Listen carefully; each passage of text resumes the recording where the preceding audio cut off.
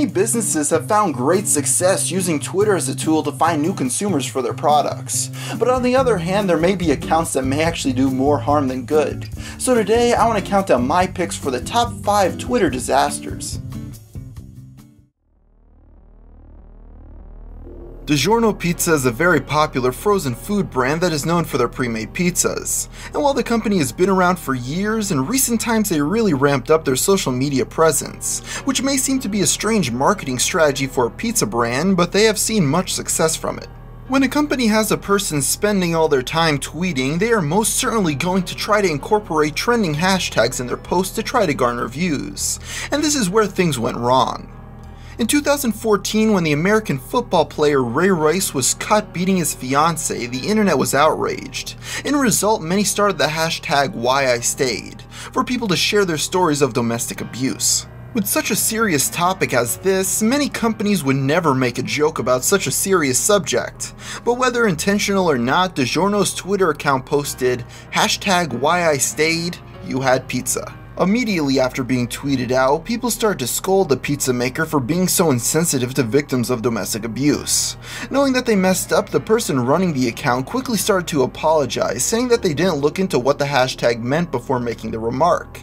But by then, the damage was already done.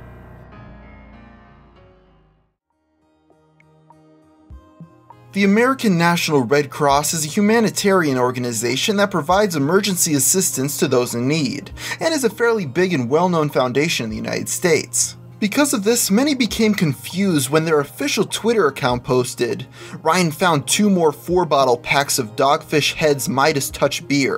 When we drink we do it right, hashtag getting slizzerd. After the tweet, the Red Cross caught on to the post that was obviously meant for a personal account and followed it up with, We've deleted the rogue tweet, but rest assured the Red Cross is sober and we've confiscated the keys.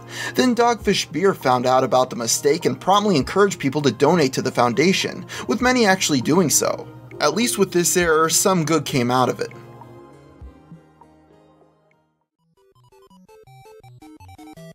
One popular technique used by marketing departments on Twitter is to encourage people to retweet and follow them in exchange for a possible reward. And that's exactly what the New England Patriots did when they were about to reach 1 million followers. What they did was put an automated system in place that would add a person's Twitter handle to the back of a jersey, then tweet it out. And of course, since there was no one manually adding the names, one user was able to get his racist Twitter handle tweeted out to all million Patriot followers. I think this just goes to show why having automated systems instead of humans isn't always a good idea.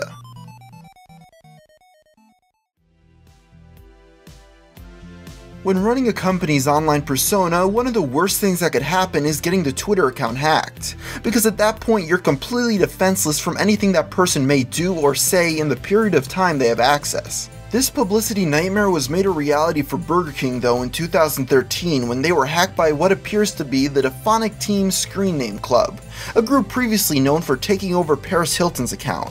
When they got access, they promptly changed the fast food chain's profile picture to that of their competitor McDonald's, claiming that they had been bought out because the Whopper failed. For the next several hours, the hackers spit out a high number of ridiculous tweets, including many implying Burger King employees use heroin at work, until finally Burger King was able to get in touch with Twitter to regain control of the account and delete all the offensive tweets. On the bright side, in the short period of time the account was in control of the hackers, it gained over 30,000 Twitter followers, so maybe Burger King shouldn't be too upset.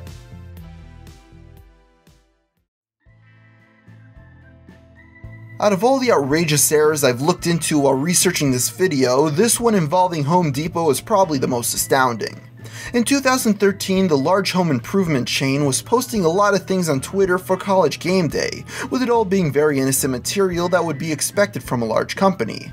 Except for one post. In one tweet, someone in the marketing department thought it would be a good idea to have a picture of three men sitting in a row, two of them being black and one with a monkey mask on. Then include the caption, which drummer is not like the others. Of course, people saw this as some sort of racist comment comparing black people to monkeys, and the tweet was taken down with Home Depot apologizing, but you have to wonder how this could have even happened in the first place. Unlike the other Twitter failures mentioned in this video, it seems impossible that this wasn't done purposely, and that they didn't see the blatant racist implications, which is why I'm rating this the biggest Twitter failure of all time. Well, there you have my picks for the top 5 Twitter failures. But before I finish this video today, I just want to give a really big thank you to my sponsor, Beam Messenger, an app for both iPhone and Android that allows you to see what the other person is typing while messaging them. This allows you to more closely mimic verbal conversations, and best of all, the messages stay private since you can write and delete as you go along. So if that sounds interesting to you, I'll leave a link to them in the description below. So anyway, until next time, thanks for watching.